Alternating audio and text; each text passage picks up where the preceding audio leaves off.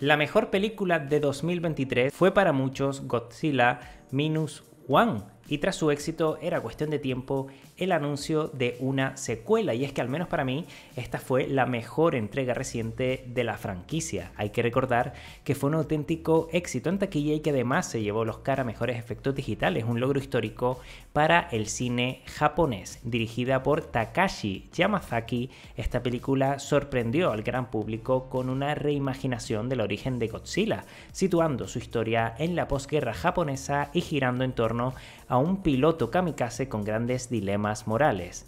Este exitoso film, que recaudó 115 millones de dólares y ganó más popularidad al llegar a, plataformas de streaming, ha motivado a la productora Toho a dar luz verde a una continuación que mantendrá a Yamazaki como director y guionista. El anuncio de la secuela llega en un contexto de acuerdos un poco raros eh, cuando hablamos de distribución, ¿no?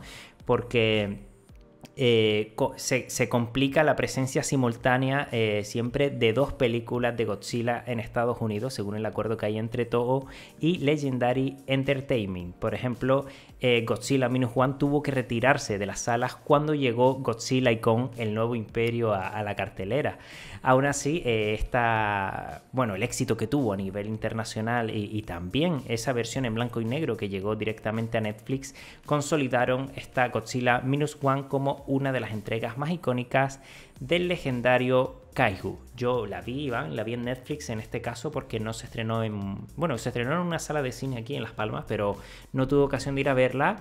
Y Jolín me la gocé como un niño pequeño, ¿eh? tengo, tengo que reconocerlo. Creo que fue una de las películas de, de, su año que más me gustaron. Pues fíjate, yo no la quería ver porque a mí Godzilla la verdad que me interesa poco y mm, King Kong y monstruos gigantes y tal no, no, es, no, es hmm. mi, no es mi historia.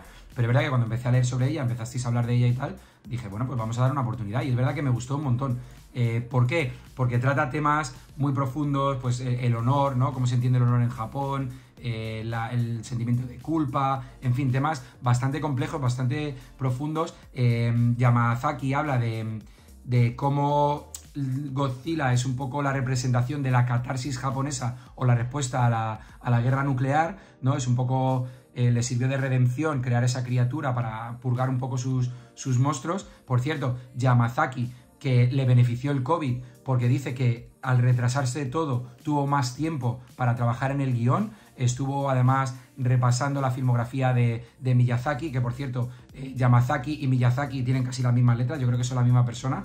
Eh, y que dice que... Eso pasa mucho en Japón, ¿eh? Dice que también, que también se basó un poco en, Spielberg, que lo tomó como referencia, reescribió el guion bastantes veces y yo creo que ese tiempo extra le hizo tener una película bastante redonda. Fíjate que esta es, sería la siguiente, esta, esta secuela de la que estamos hablando, que él también va a dirigir y escribir, la número 38 de Godzilla, eh, eh, de la franquicia, contando las japonesas, las estadounidenses, etc.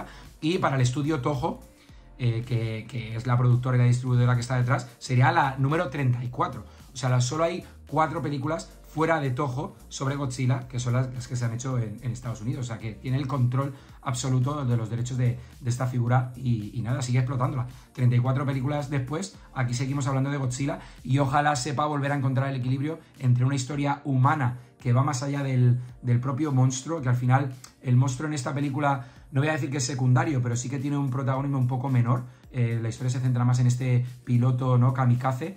Y, yo creo que eso es lo que hizo que fuera un poco diferente, porque si vuelves a hacer una película de Godzilla destrozando una ciudad, como hemos visto 36 veces o 37 veces, pues yo em, no le voy a dar la oportunidad, ya os lo digo, porque no, me interesa demasiado. Totalmente. Eh, yo estaré ahí día uno para verla, seguramente.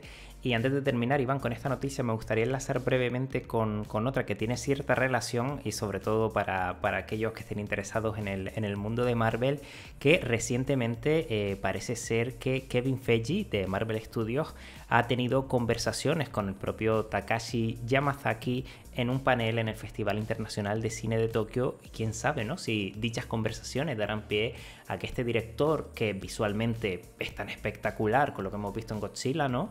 Eh, forme parte del UCM y nos ofrezca algo mínimamente interesante en, tiempos de hambruna, ah, o no, porque debo decir que la serie de Agatha, yo sé que tú no sabes ni de qué te hablo, pero me ha alucinado, me ha gustado mucho y hombre, está bien que la traigamos también por aquí para reivindicarla, ¿no? Pues te digo, te digo que además, unida a esta noticia que nos acabas de dar, que, Yamazaki pertenece ya a la Asociación de Directores Estadounidenses después de la nominación a los Oscars y tal, y eso le abre las puertas a trabajar en, Hollywood o en Estados Unidos con más facilidad. O sea que puede ser una realidad eh, que veamos a, Yamazaki después de, este, de esta secuela de, Minus One haciendo algún trabajo en Estados Unidos.